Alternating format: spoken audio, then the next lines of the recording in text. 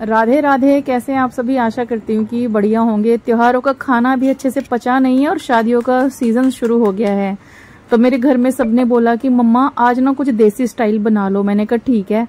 तो मैं बाजरे की रोटी बनाऊँगी आज। बिल्कुल शुद्ध देसी स्टाइल खाना जो चूल्हे पे बनता है, वही वाला। लेकिन हाँ गैस पर बनाऊँगी क्योंकि चूल्हा मेरे पास नहीं है।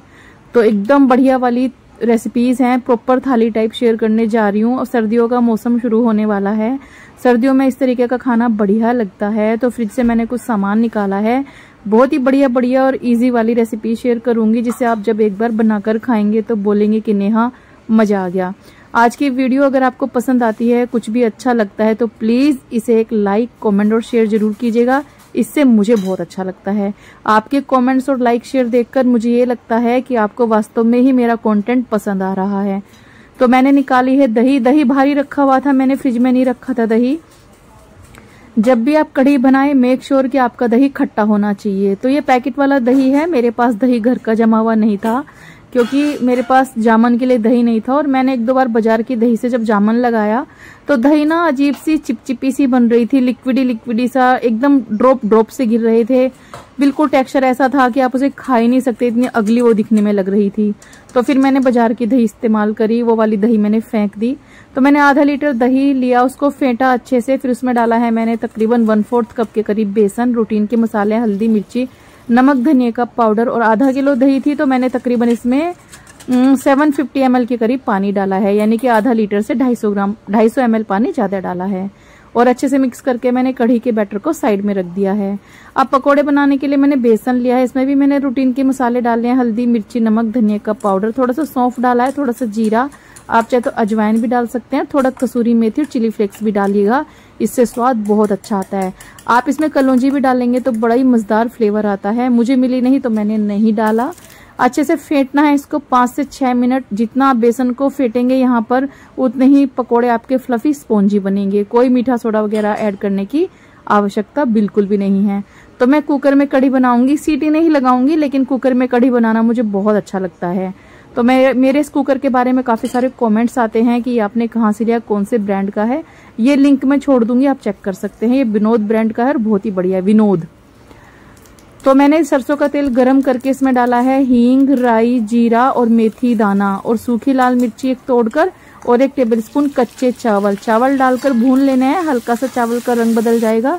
एकदम सफ़ेद सफ़ेद और क्रिस्पी से दिखेंगे। फिर गोल गोल कटे हुए आलू और एक स्लाइसिस में कटा हुआ प्याज मैंने डाला।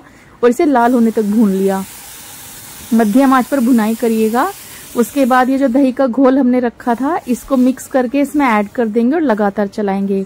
कढ़ी तो आपने बहुत खाई होगी, लेकिन एक बार इस तरीके से कढ़ी बनाना वास्तव में बता रही हूँ, आप बोलोगे कि नेहा, बहुत ही शानदार कढ़ी है, इतना बढ़िया स्वाद आया जैसे ढाबों वाली कढ़ी में आता है। अब मैंने हरी मिर्ची डाल दी और कढ़ी को लगातार चलाना है। अगर आपने यहाँ पर एक खदका आने तक इसे नहीं चलाया तो आपकी कड़ी फट जाएगी। और नमक भी मैंने शुरुआत में डाल दिया था। काफ़ी सारे लोग नमक नहीं डालते हैं शुरुआत में, उनको ये डर रहता है कि कड़ी फट जाएगी। ऐसा कुछ नहीं होता। दही, जो दही की कड़ी या मतलब जब हम कड़ी बनाते हैं, उसके फटने का कारण ये होता है कि आप उसे लगातार नहीं चलाते। शुरुआत में लगातार चलाना होता है जब तक एक एक उसमें उबाल ना आ जाए। फिर स्लो फ्लेम पर पकने के लिए छोड़ दीजिए। कढ़ी को अपने आप पकती रहेगी। कढ़ी जितनी ज़्यादा पकेगी, उतनी शानदार बनेगी। कढ़ी में मलाई जब तक ना जाए, तब तक उसको पकाना है। कढ़ी और साग दोनों जितना पकेंगे, उतना ही मज़ेदार फ्लेवर आता है। अब मुझे बनानी थी गार्लिक वाली चटनी, जो राजस्थानी स्टाइल में बनाती हूँ। बहुत ही बढ़िया बनती है। इसके लिए आपको मिर्चों को गर्म पानी में भिगो के रखना है और उस पानी में नमक भी ऐड कीजिएगा। तो जो आपकी साबुत लाल मिर्ची है, कम से कम दो घंटे पानी में भिगोएँगे ना नमक के साथ तो बहुत बढ़िया चटनी बनती है। तो मैंने सूखी लाल मिर्ची पानी में भिगोई, उनके डंठल तोड़े। फिर चटनी को मैंने मिर्चों को सिलबट्टे में डाला, सिल पर। फिर नमक और गार्लिक डाला और इसे पीस लिया। बहुत अच्छी चटनी बनती है इस तरीके से। पानी वगैरह का इस्तेमाल नहीं करना है। अगर आपको पीसने में थोड़ी सी प्रॉब्लम हो रही है तो थोड़ा बहुत पानी डालिएगा। टेक्सचर ऐसा ही आ जाएगा। थोड़ी सी मेहनत तो लगी लेकिन मज़ेदार चटनी बनी थी। मेरे गोलू को बहुत पसंद आई है ये चटनी। बहुत ही बढ़िया। दो दिन में उसने चटनी खत्म कर दी और कहा मम्मा और बनाना। अब इस आ, सील पे ना थोड़ा सा ये मसाला लगा हुआ था तो मैंने कढ़ी डाल दी इसमें थोड़ी सी और अच्छे से मिक्स करके मैं इसे कढ़ी में मिला दूँगी। तो बहुत ही बढ़िया फ्लेवर आएगा। अगर अगर आप गार्लिक नहीं खाते तो सूखी लाल मिर्ची को जब आप पानी में भिगो रहे हैं तो उसमें दो चम्मच सूखा धनिया ऐड करिए, साथ में एक चम्मच जीरा, और उसके बाद आप चटनी बनाना, हींग डालकर इतनी बढ़िया चटनी बनती है कि आपको बहुत ही पसंद आएगी। बिल्कुल ऐसे सिलबट्टे पर पीस कर सिलबट्टा नहीं तो कोई बात नहीं, मिक्सी में थोड़ा सा मोटा मोटा सा चटनी को बनाना बड़ी मज़ेदार बनेगी। तो बस मैंने तो ये वाला फ्लेवर कढ़ी में ऐड कर दिया, इससे कढ़ी का स्वाद चार गुना बढ़ जाएगा। और अभी भी मैं इस कढ़ी को पकाऊँगी। कढ़ी और साग, जितना आप इन्हें पकाएँगे, उतना ही स्वादिष्ट ये दोनों चीज़ें बनती है। एकदम स्लो फ्लेम पर, कढ़ी पर जब तक मलाई ना आए, तब तक इसे पकाना है। तो इस स्टेज पर मैंने इसमें थोड़ा सा कसूरी मेथी और गरम मसाला भी ऐड कर दिया है और कढ़ी वापस से पकती रहेगी। और ये हमारे पकौड़ों का बैटर जो फूल चुका है पंद्रह से बीस मिनट के लिए मैंने इसे रख दिया था। तो अच्छे से फेंटना है इसे और उसके बाद रख देना है। तो कढ़ी के पकौड़े स्पॉन्जी और जालीदार बनेंगे। इस कढ़ी को टेस्टी बनाने के लिए इसमें एक इंच अदरक का टुकड़ा इस स्टेज पर कद्दूकस कर दीजिएगा और कढ़ी को वापस से पकने दीजिए। अब तेल को मैंने मीडियम हीट पर गर्म किया है। इसमें छोटी छोटी पकौड़ियाँ हम बना लेंगे। हमारे यहाँ कढ़ी की जो पकौड़ियाँ होती हैं, एकदम प्लेन बनती हैं। कुछ लोगों को मैंने देखा है, वो आलू के प्याज के पकौड़े बनाते हैं, पालक के बनाते हैं। लेकिन हमारे यहाँ यूपी में मैक्सिमम टाइम प्लेन पकौड़ियाँ ही बनती हैं और इन्हें पकौड़ी ही कहते हैं। तो मैंने इन्हें बनाया सरसों के तेल में, इनसे स्वाद बहुत ही ज़्यादा बढ़िया आता है। तो जैसे पकोड़े बन जाएँगे, तुरंत मैं कढ़ी में डाल दूँगी। गर्मा गर्म कढ़ी पक रही है और गर्मा गर्म पकोड़े फ्राई हो चुके हैं। तो इस तरीके से ना, एकदम गर्मा गर्म कढ़ी में जब ये जाएँगे ना, कढ़ी को अच्छे से पी लेंगे और बहुत ही मज़ेदार कढ़ी बनेगी। अब इस कढ़ी के पकोड़े बनाने के बाद मैंने पूरा तेल निकाल दिया और थोड़े से तेल में मैंने राई और लहसन डाला है। थोड़ी सी लाल मिर्ची का पाउडर डालेंगे। कश्मीरी लाल मिर्ची पाउडर है ये और सूखी लाल मिर्ची डालेंगे। और बस अच्छे से इस कढ़ी के छोंक को हम कढ़ी में मिला देंगे। अगर आप गार्लिक नहीं खाते तो हींग का तड़का डालिएगा। बहुत ही स्वादिष्ट कढ़ी बनती है। ऊपर से हरा धनिया डालिए और ये आपकी बहुत ही बढ़िया ढाबे वाली कढ़ी बनकर तैयार है। कढ़ी किस किस की फेवरेट है और किसके साथ ज़्यादा पसंद आती है? चावल के साथ या फिर रोटी के साथ? मुझे तो रोटी के साथ बढ़िया लगती है। अब मैं इसके, कढ़ी के साथ ना आज बनाऊँगी बाजरे की रोटी, जो बहुत ही एवरग्रीन कॉम्बिनेशन है। कढ़ी तो आपने बहुत खाई होगी चावल के साथ, गेहूँ की रोटी के साथ, लेकिन एक बार मेरे कहने से बाजरे की रोटी के साथ कढ़ी खाना आपको ऑल टाइम फेवरेट हो जाएगा। तो बस मैंने एक ही रोटी का आटा लिया है क्योंकि मैं अपने लिए बना रही हूँ तो इस आटे में मैंने थोड़ा सा नमक डाला और थोड़ा थोड़ा पानी डालकर मैंने इसका डो बना लिया। आप चाहे तो गर्म पानी से भी डो बना सकते हैं। ये डो ऐसा बनता है जैसे मक्की के आटे का डो बनाते हैं। मक्की की रोटी और बाजरे की रोटी का बनाने का तरीका बिल्कुल सेम है। अब जब भी मैं बाजरे की रोटी बनाती हूँ, मेरे पास एक प्रश्न बहुत ज़्यादा आता है कि क्या गर्मियों में बाजरे की रोटी खा सकते हैं? बिल्कुल खा सकते हैं। मैं गुजरात में ऑलमोस्ट पाँच से साढ़े पाँच साल रही हूँ और वहाँ पर ही मैंने देखा था कि गर्मियों में भी जो गुजराती लोग हैं, वो बाजरे की रोटी बनाते हैं। तो वहीं पर मैंने भी इसको अपने मील में इंक्लूड किया था।